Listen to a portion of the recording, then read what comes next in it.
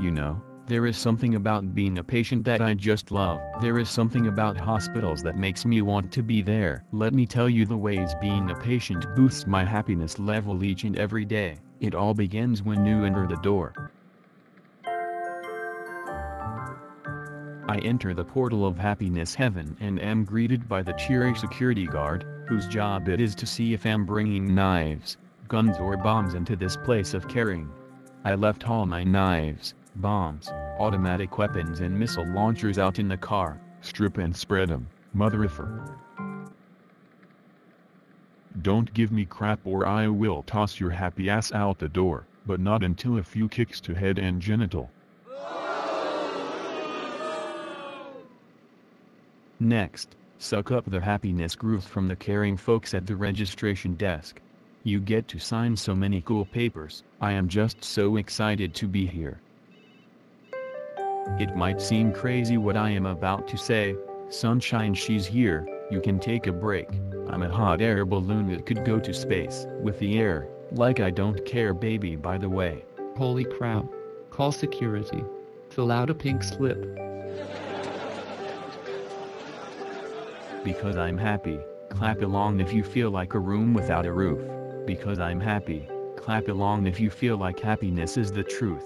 Because I'm happy, clap along if you know what happiness is to you. Because I'm happy, clap along if you feel that's what you want to do. Listen to me. The only clapping going on here tonight is the clap of a jail cell where you are going to go unless you sit your happy butt down here and sign these effing papers and give me your ID and insurance card. You know, there is one thing that makes everyone happy. Food. And believe me, there is nothing like hospital food.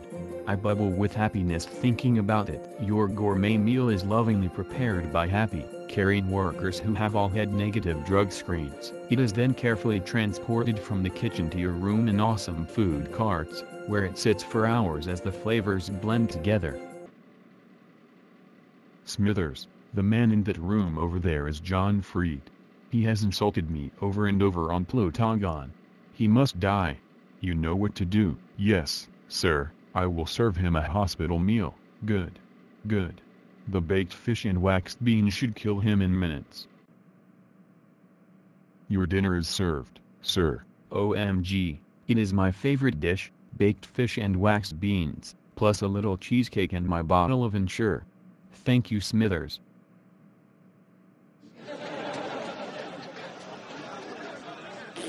That was so good. Give my thanks to all those who prepared this meal for me. Happiness grows and grows. And finally, no patient experience is complete without some awesome procedures and tests. For me, it is like being at Disney or Universal. The vast array of tests and procedures is like being in the biggest candy and chocolate store ever. Happiness abounds. Welcome back, John. Would you like a menu? I know you have your favorites, but we do have a few specials we would like to share with you. Good to see you, Drake. Yes, by all means, bring on the menu and the specials. I am happy and excited to consider them all. I am so greedy when I come here. Tonight, I will be aided by nurse practitioner Jeanette. We are here to satisfy you every woman desire. And lastly, before we begin, the tests and procedures selected will be guaranteed denial by your insurance company, thereby making you even happier when you pay the bill.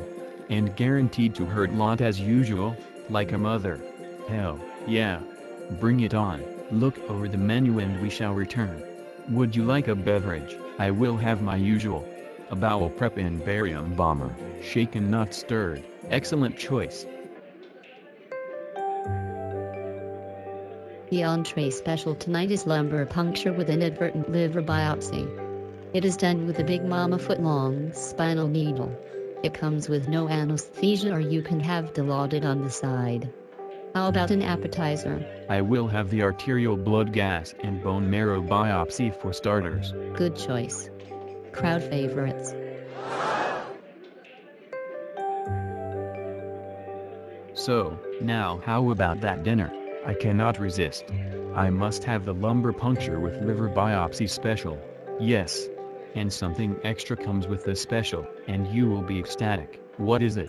What is it? A complimentary pneumoencephalogram, not performed for years.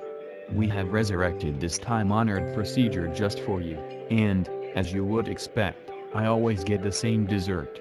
I, of course, choose total body nerve conduction studies and ending this amazing feast with electrocardioversion.